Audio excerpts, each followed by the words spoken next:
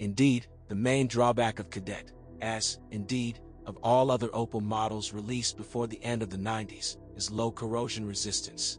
Often there are cars with wheel arches, sills, floor under the pedals rusted to holes, but the most dangerous thing is that the attachment points of the rear beam to the side member rot. The trunk lid often rusts, especially for cars with a station wagon. In addition, the owners of Kadett complain that you can hit your head on the protruding trunk lock.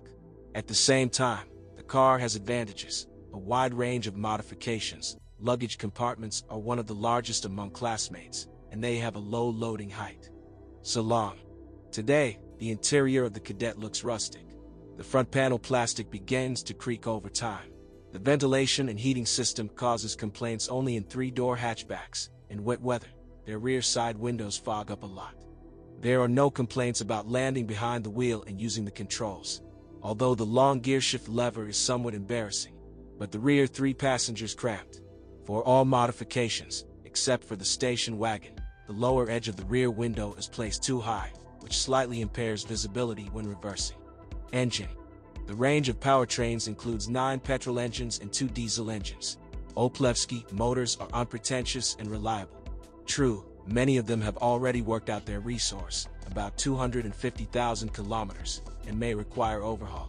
A specific feature of engines from Rüsselsheim is that the timing belt is tensioned using a water pump, and when replacing the belt, it is advisable to install a new pump. In carburetor versions, the diaphragm of the starting device often breaks. There are no complaints about engines equipped with a distributed fuel injection system.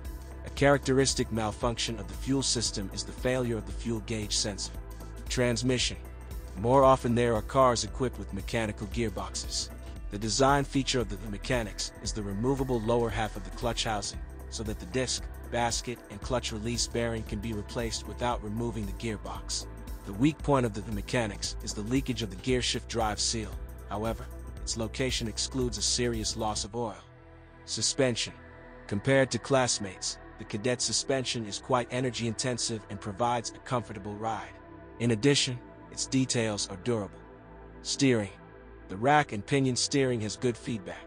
The only thing that upsets is the absence of a hydraulic booster on most cars. Tips and tie rods go for a very long time, and the rail, if the anthers were not torn, serves the entire life of the car. Brake system.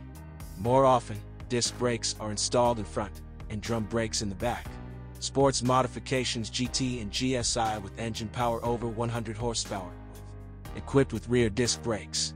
The brake system Kadett has one sore place over time. The guides of the calipers of the front disc mechanisms coke and stick, so the assembly needs regular maintenance, lubrication of the guides.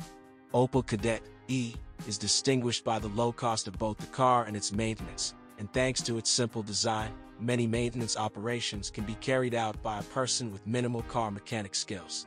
Buy Kadett E is recommended only if the car was in the hands of the owner, who monitored its technical serviceability and, most importantly, took care of protecting his pet from corrosion.